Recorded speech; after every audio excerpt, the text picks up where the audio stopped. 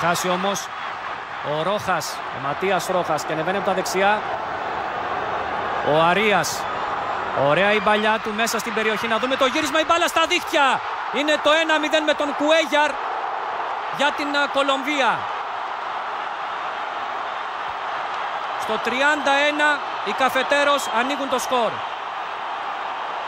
Με τη φάση που έγινε το λάθος από τον Αρσαμέντια. Η μπάλα βγήκε στα δεξιά στον Αρίας. Έχει πατήσει περιοχή.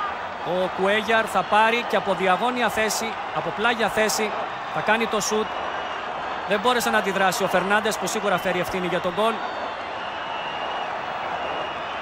Μπάλα πέρασε κάτω από τα πόδια του. 1-0 το προβάδισμα